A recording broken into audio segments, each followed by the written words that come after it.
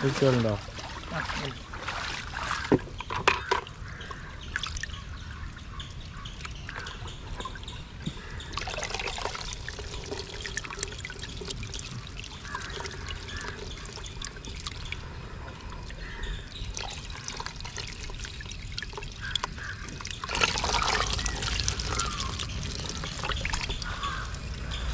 Anabas ആണ് കേട്ടോ anabas മീന് അപ്പോൾ ഇന്ന് നമ്മളെ വീഡിയോ എന്ന് പറഞ്ഞാൽ ഞാൻ അനാബസ് വാങ്ങാൻ പറഞ്ഞതാണ് വന്നതാണ്. പറഞ്ഞതല്ല സോറി അപ്പോൾ പിന്നെ പലപ്പോഴും പലരും പറഞ്ഞു കേട്ടിട്ടുണ്ട് തുടക്കക്കാർക്ക് ഏറ്റവും നല്ല മീന് അനാബസ് ആണ് എന്നുള്ളത് പക്ഷെ ഞാൻ ഇതുവരെ അനാബസ് വളർത്തിയിട്ടില്ല.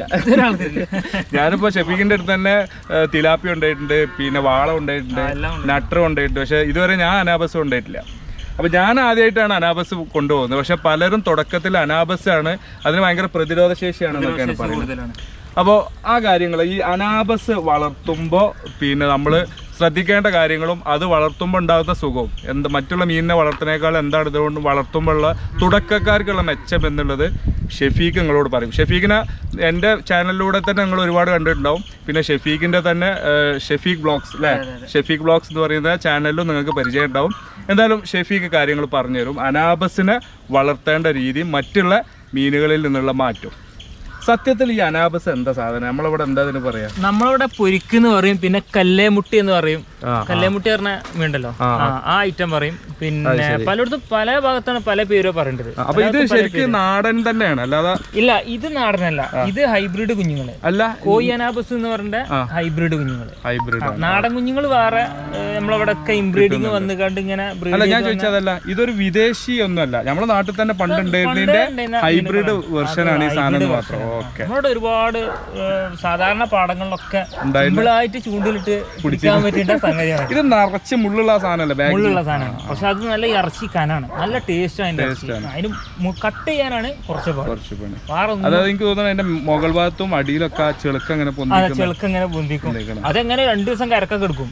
യാതൊരു പ്രശ്നമില്ലാതെ അത്യാവശ്യം ഈ വലുപ്പുണ്ടെങ്കിൽ രണ്ട് ദിവസം സുഖം. കാരണം നമ്മളെ ഈ പോണ്ടിന്നൊക്കെ ഇതിന്ന് നമ്മളെ പടുതാക്കുളത്തുനിന്നൊക്കെ ചാടിക്കാണ്ട് വരേണ്ടത് അത് രണ്ട് ദിവസം കഴിഞ്ഞ ശേഷം നമുക്ക് കിട്ടില്ലേ ഇത്ര ചെറുതായതുകൊണ്ട് നമുക്ക് ആ ചെളുക്ക കാണാൻ പറ്റൂല. കുറച്ചുകൂടി ഒക്കെ വലുതാവണം. ഈ ചെളുക്കേനെ ഇതിങ്ങനെ പൊങ്ങി നിൽക്കും. അത് രണ്ട് ചെറുക്കും.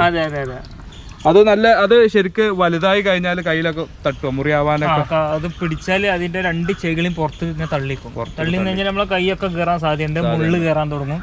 അല്ല അതിന്റെ മുള്ളനൊക്കെ നല്ല സ്ട്രോങ് ആണ്. അപ്പൊ അതിൽ വേറെ സംഗതി ഉണ്ട് ഇപ്പൊ ഞാൻ പടുതാകുളാണ്. ഷീറ്റ് വിരിച്ച. ഷീറ്റ് കീറാനുള്ള സാധ്യത? ഇല്ല ഇല്ല. അനാബസിന് ഷീറ്റ് കീറേണ്ട പ്രശ്നമില്ല. നമ്മൾ ആ ബോണ്ടിലൊക്കെ അവിടെ അനാബസ് ഉണ്ട് എല്ലാ മീനുകളും അതിലുണ്ട്. ഇതുവരെ അങ്ങനത്തെ ഒരു പ്രശ്നം വന്നിട്ടില്ല. നമ്മൾ നാലഞ്ച് കൊല്ലമായി ഇപ്പൊ ആ ഒരു പദ്ധതിയിൽ നമ്മൾ ചെയ്യാൻ തുടങ്ങിയിട്ട്. പിന്നെ ഇതിന്റെ പ്രതിരോധം എങ്ങനെ മറ്റുള്ള മീനുകളെ അപേക്ഷിച്ച്? ചെറിയ കുഞ്ഞുങ്ങളാകുമ്പോ ഫംഗസിന്റെ പ്രശ്നം വരും. അത് പിന്നെ ചാവിണ്ടത് അറിയില്ല. ഡെത്ത് വരുന്നത് അറിയില്ല. അറിയില്ല. അപ്പൊ ഈ അനാബസിന്റെ പ്രത്യേകിച്ച് ചെറിയ ആ കുഞ്ഞുങ്ങളെ നമ്മളിപ്പോ ഇറക്കുമതി ചെയ്യുക പാമ്പൊന്ന് കൊണ്ടുപോകുക അങ്ങനെയൊക്കെ ചെയ്യുക ട്രീറ്റ്മെന്റ് ചെയ്യാത്താണെങ്കിൽ. അത് ചിലപ്പോൾ ഫംഗസ് വന്നുകൊണ്ട് ചാവാൻ സാധ്യത കൂടുതലുണ്ട്. അത് ചിലപ്പോൾ നമ്മളെ വീട്ടിലുള്ള വെള്ളത്തിൽ ചിലപ്പോൾ ഫംഗസിന് എന്തെങ്കിലും പ്രശ്നങ്ങൾ ഉണ്ടെങ്കിൽ അല്ലെങ്കിൽ മഴവെള്ളത്തിൽ ഡയറക്റ്റ് വിടുമ്പോഴുള്ള പ്രശ്നങ്ങൾ ഉണ്ടെങ്കിൽ അപ്പോൾ ചിലപ്പോൾ ചാവാനുള്ള സാധ്യത. കൂടുതലുണ്ട്. അപ്പൊ നമ്മളത് ട്രീറ്റ്മെന്റ് കറക്റ്റ് ചെയ്തതിനു ശേഷം ഇടുകയാണെങ്കിൽ യാതൊരു പ്രശ്നം ഉണ്ടാവില്ല. അപ്പൊ നിങ്ങളെ പോലെ ഉള്ള ആളുകളുടെ അടുത്ത് വാങ്ങാന്ന് പറഞ്ഞാൽ ശരിക്കും ട്രീറ്റ് കഴിഞ്ഞതിന്റെ ശേഷം നമ്മൾ ഏകദേശം ഒരു മൂന്നാഴ്ച കഴിഞ്ഞതിന് ശേഷം നമ്മൾ കുഞ്ഞുങ്ങളെ കൊടുക്കും. കുഞ്ഞുങ്ങളെ കൊടുക്കും. അത് എല്ലാ അപ്പൊ പിന്നെ എന്നെ സംബന്ധിച്ചിടത്തോളം അങ്ങനെ ഒരു ടെൻഷൻ വല്ലാണ്ട് ഇല്ല കാരണം ഇതിപ്പോ ട്രീറ്റ് ചെയ്ത് വരുന്ന മീനുകൾ. നിങ്ങൾ ചെയ്ത വളർത്തിയെടുത്ത മീനുകളാണ്. അപ്പൊ അതിന്റെ ക്വാളിറ്റി കർഷകർക്ക് കണ്ടാൽ തന്നെ അറിയാം. കാരണം വെച്ചാൽ വയറൊക്കെ ഫുള്ള് നിറഞ്ഞ് പിന്നെ ചെകിളൊക്കെ പൊങ്ങി തുടങ്ങാൻ തുടങ്ങും. അപ്പൊ അങ്ങനത്തെ മീനുകളാണെങ്കിൽ യാതൊരു അത് ഇനി ഏത് ഫാമിൽ നിന്ന് എടുക്കണമെങ്കിൽ ശ്രദ്ധിക്കേണ്ട ഒരു കാര്യമാണ്. വയറൊക്കെ ഫുള്ളായി കിടക്കേണ്ട മീനെടുക്കുകയാണെങ്കിൽ അത്യാവശ്യം നല്ല കുഞ്ഞുങ്ങളായിരിക്കും. കുഞ്ഞുങ്ങളായി. ഇപ്പൊ വയറൊക്കെ ചപ്പിക്കാണ്ട് ചെകിളൊക്കെ ഇങ്ങനെ ഒതുങ്ങി നിൽക്കേണ്ട മീനാണെങ്കിൽ മുള്ളൊന്നും പൊക്കാതെ എന്തെങ്കിലും ഫംഗസ് ഉണ്ടെങ്കിൽ ഈ മുള്ളൊന്നും പൊക്കൂല. ആ അപ്പൊ അങ്ങനത്തെ മീനുകളാണെങ്കിൽ മാക്സിമം അത് പിന്നെ ട്രീറ്റ്മെന്റ് കഴിഞ്ഞതിന് ശേഷം വാങ്ങാൻ അപ്പൊ ആ കാര്യങ്ങൾ പ്രത്യേകം ശ്രദ്ധിക്കുക. അനാവസ് എടുക്കുന്ന സമയത്ത് വയറൊക്കെ നല്ല ഫിറ്റ് ആണെന്ന് തോന്നുന്ന മീനുകളെ നമുക്ക് ധൈര്യമായിട്ട് എടുക്കാമെന്നാണ് പറയുന്നത്. പിന്നെ നമ്മൾ എപ്പോഴും ഉണ്ടായിരുന്ന ഒരു സംശയം ഇത് പടുതയിൽ അനാബസ് ഇടാൻ പറ്റുമോ അത് പടുത കീറോ എന്നുള്ളതാണ് അതില്ല പടുതക്ക് കംപ്ലൈന്റ് ഒന്നും വരുത്തുന്നില്ല പിന്നെ വേറെ കാര്യം ഇതിന്റെ ഈ മുള്ളുകളുള്ളതുകൊണ്ട് വലുതാവുമ്പോൾ ഒരുപാട് ഹൈ ഡെൻസിറ്റിയിൽ ഇട്ടാൽ ഇവർക്ക് തമ്മിൽ പരിക്ക് വരും ഇല്ല തീറ്റ കിട്ടില്ലെങ്കിൽ ഇവർ തമ്മിൽ കടിക്കാൻ തുടങ്ങും ചെകിള എടുക്കാൻ തുടങ്ങും അപ്പോഴാണ് അതാണ് ശരിക്കും ഇവരെ എന്തോ അങ്ങനെ എന്തോ രോഗമല്ലേ ഫംഗസ് രോഗം കൂടുതൽ വാൽക്കടി വാൽക്കടി രോഗം എന്ന് പറയില്ലേ അത് ഈ ചെകിളകളും വാലുകളൊക്കെ അവർ കഴിക്കും ഇവർക്ക് മെയിൻ ആയിട്ട് വേണ്ടി ഫുഡാണ് ഫുഡ് വേറെ ഒന്നും പി എച്ച് വിഷയമുള്ള കാര്യമില്ല അപ്പൊ എന്നെ പോലെ തന്നെയാണ് മെയിൻ വിഷയം തീറ്റാണ് നമ്മളെ.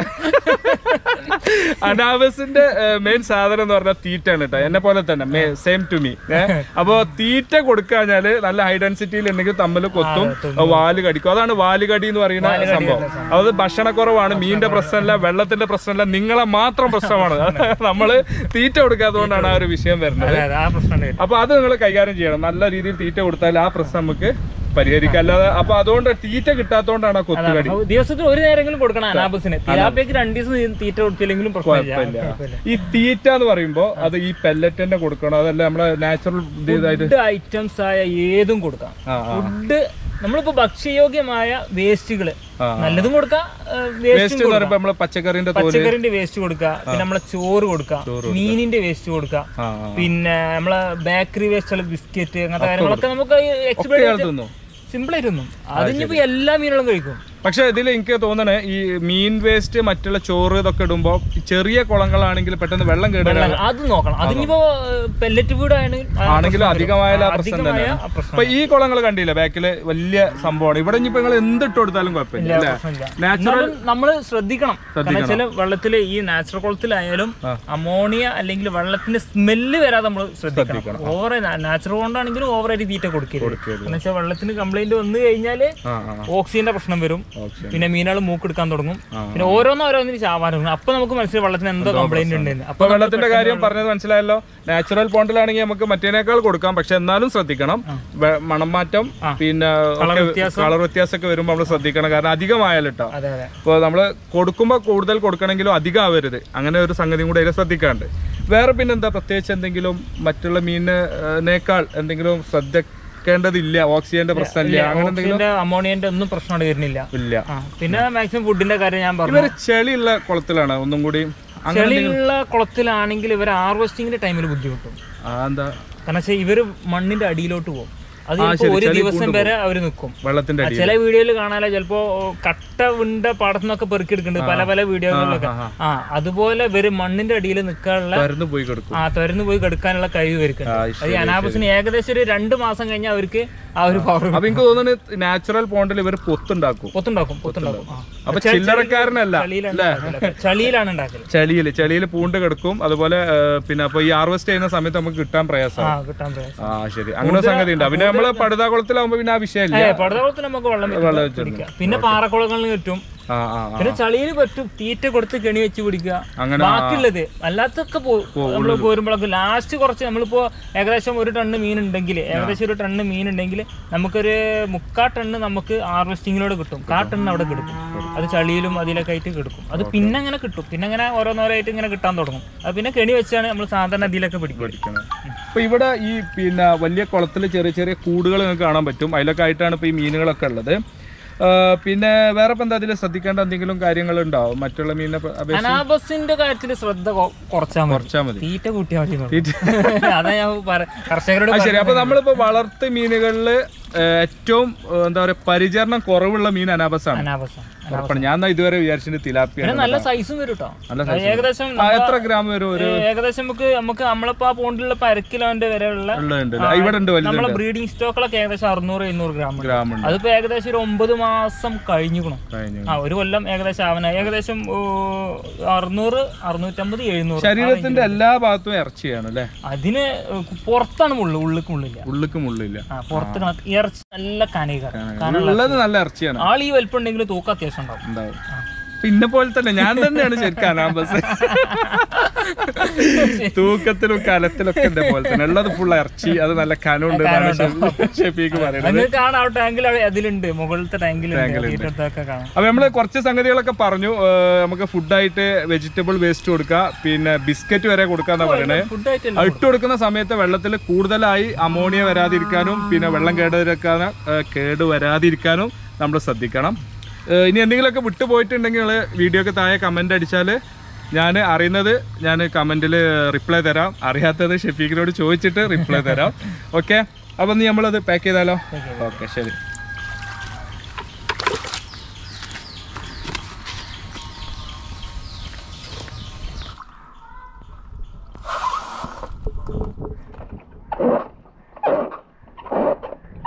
നമ്മൾ സാധനം വാങ്ങി വീട്ടിൽ പോവാണ്.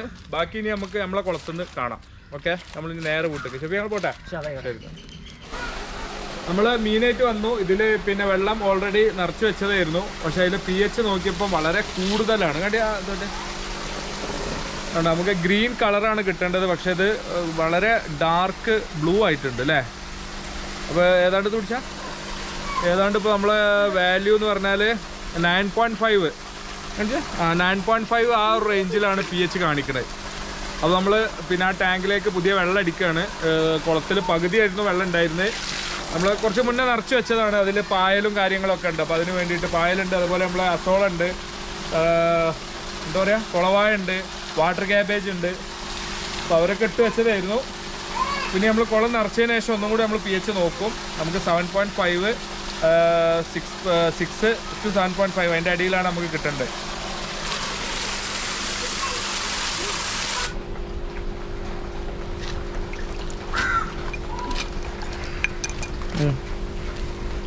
ഞാൻ ഇട്ടിട്ടുണ്ടല്ലോ. ഏകദേശം. ഇപ്പോൾ നമുക്ക് സിക്സ് പോയിന്റ് ഫൈവ് സെവൻ ആ റേഞ്ച് നമുക്ക് കിട്ടിയിട്ടുണ്ട്. അപ്പോൾ പി എച്ച് ഓക്കെ ആയിട്ടുണ്ട്. ഇനിയിപ്പോൾ നമുക്ക് ഇത് നിങ്ങൾ കണ്ടില്ല മീൻ നമ്മൾ അവിടെ ഇട്ട് വെച്ചിട്ടുണ്ട് കേട്ടോ നേരിട്ട് മീൻ ഇടുകയല്ല നമ്മൾ ആ ടെമ്പറേച്ചർ പിന്നെ ഓക്കെ ആവുന്നതിന് വേണ്ടി. വെള്ളത്തിന്റെയും അതുപോലെ ആ നമ്മൾ കൊടുക്കുന്ന ബാഗിലെയും വെള്ളത്തിന്റെ ടെമ്പറേച്ചർ ഒരുപോലെ ആവാൻ വേണ്ടിയിട്ട് നമ്മൾ അതിലിട്ട് വെച്ചതാണ്.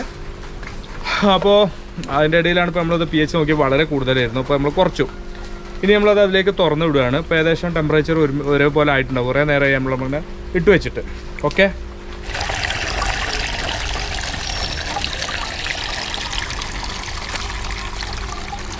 അപ്പോൾ നിങ്ങൾ വെള്ളം ചാടുന്ന കണ്ടില്ല? നമ്മളതിലെ വെള്ളം ഓവർഫ്ലോ ആണത്. പക്ഷേ വെള്ളം പോകുന്നത് എങ്ങനെയാണെന്ന് വെച്ചാൽ ഈ കുളത്തിലെ ഏറ്റവും അടിയിലെ വെള്ളമാണ് ആ പൈപ്പ് പോയത് നിങ്ങൾ കണ്ടല്ലോ. ഇനി അത് ഇത് കണ്ടിട്ട് മനസ്സിലാവാത്ത ആളുകൾക്ക് നമ്മൾ പഴയ വീഡിയോ എടുത്ത് നോക്കിയാൽ മതി. നമ്മൾ ശരിക്കത് പറയണുണ്ട്. അപ്പോൾ ഇതാണ് അതിന്റെ ഒരു വർക്കിംഗ് അതിന്റെ വർക്കിംഗ് അന്ന് ഞാൻ കാണിച്ചിട്ടില്ലായിരുന്നു. അപ്പോൾ അതിൽ നിങ്ങൾ കണ്ടല്ലോ വെള്ളം ഒഴുകി പോകുന്നത് ആ പോകുന്നത് കുളത്തിലെ ഏറ്റവും അടിഭാഗത്തു നിന്നാണ്. അപ്പോൾ അതിൽ അടിഞ്ഞുകൂടിയ സ്ലറിയൊക്കെയാണ് പോവുക. നമ്മൾ മീനിന്റെ അപ്പോൾ അതാ നമ്മൾ തുറന്നു വിടുകയാണ്